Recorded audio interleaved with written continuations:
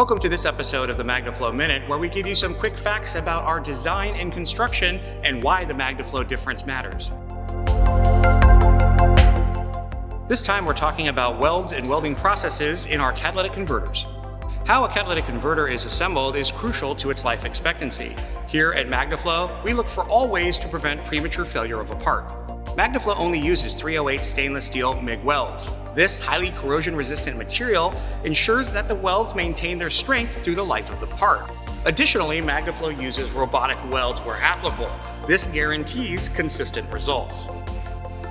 Generally, non-MagnaFlow catalytic converters are welded with low carbon steel.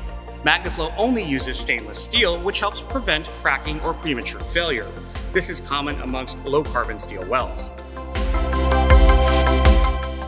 Lincoln Electric worked with us to develop the standards and specifications for our machines and usage.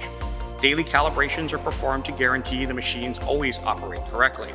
The goal is consistent weld process, which is what you can expect on every MagnaFlow catalytic converter. Be sure to consider the material and the quality of the welds when it comes time to replace your catalytic converter. Look for MagnaFlow's consistent 308 stainless steel MIG welds on all of our catalytic converters. Tune in to the next MagnaFlow Minute for another easy reason why we should be your first choice for a catalytic converter.